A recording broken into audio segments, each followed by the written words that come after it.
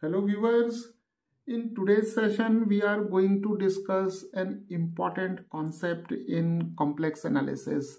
And uh, the concept is uh, how to find the period of uh, e raised to z uh, where z is a complex number right? So let us see uh, the periodicity of uh, the function e raised to z where z is a complex number and let us denote uh, the function e raised to z by f of z. And here uh, this z is a complex number. And let us take z as x plus iota y where x and y belongs to the set of real numbers.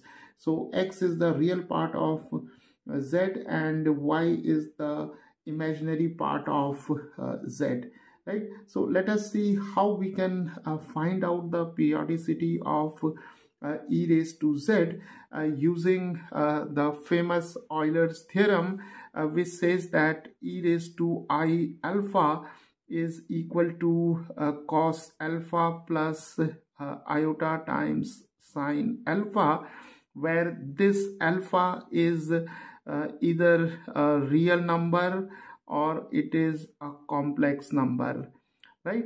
So let us start. So let us quickly see the definition of a periodic function. Now see a function f of x is said to be a periodic function of x. If there exists a positive real number uh, t uh, such that f of x plus t is equal to uh, f of x right?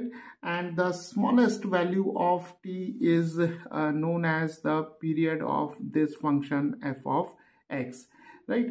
Okay now uh, let us uh, replace the, this z by uh, x plus iota y.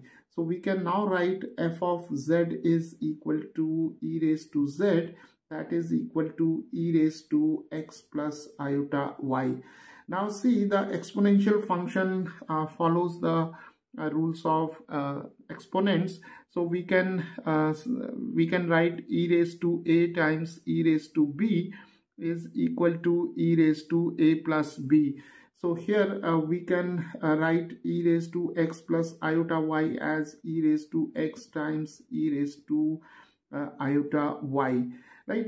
Now using Euler's theorem we can now write e raised to iota y as uh, we can write cos of y plus i times sine of uh, y right? So what we have done here we have replaced this z by x plus iota y and then by using uh, the rules of exponent that is e raised to a times e raised to b is e raised to a plus b. Uh, we have written e raised to x times e raised to iota y and then uh, keeping uh, this e raised to x as such, uh, we write e raised to iota y as uh, cosine y plus i times uh, sine y. So now we know that uh, the period of sine and cosine function is 2 pi, right? So whenever sine y and cosine y are increased by 2 pi or a multiple of uh, integral multiple of 2 pi then sine function and cosine function uh, uh, remains unchanged right? So sine y and cosine y remain unchanged uh, when uh, y is increased by uh, 2 n pi where n is any integer that is positive or negative right? So we can now write cos of y as cos of uh, y plus 2n pi and sine of y can be written as sine of y plus 2n pi right? So uh, cosine y remains unchanged when we add uh, 2n pi to y and similar is the case with the sine function. Uh, sine function remains the same when we add y at uh, that is 2n pi to uh, y right so let us replace uh, here uh, cos y by uh, cos of y plus 2n pi and then i times sine of y plus 2n uh, pi. Now uh, let us again write this expression using the Euler's theorem right? Now here if we take y plus 2n pi as alpha then uh, we can now write here a cos of uh, alpha. Then we have i times sine of alpha.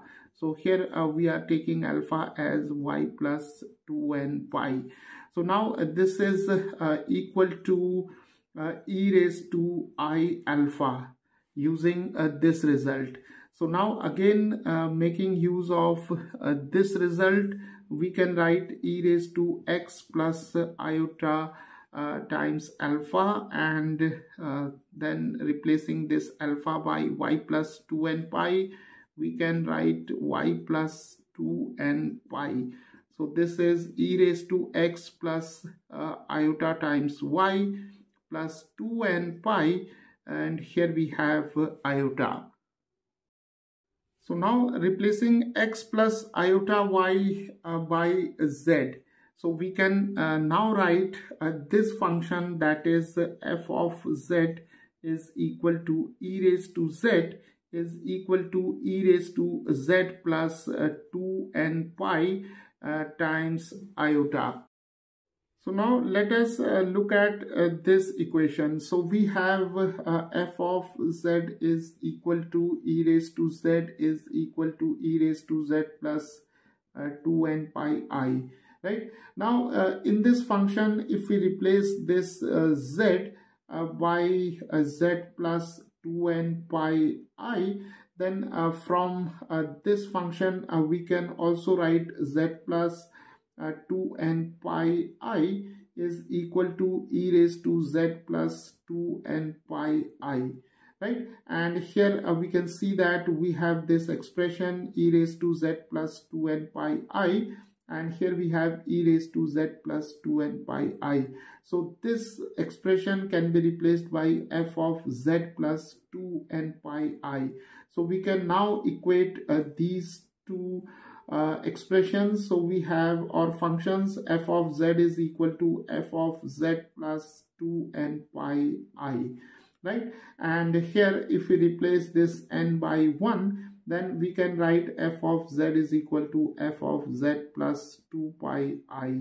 And uh, this suggests that uh, the period of the function f of z is given by uh, 2 pi i uh, using uh, this definition right?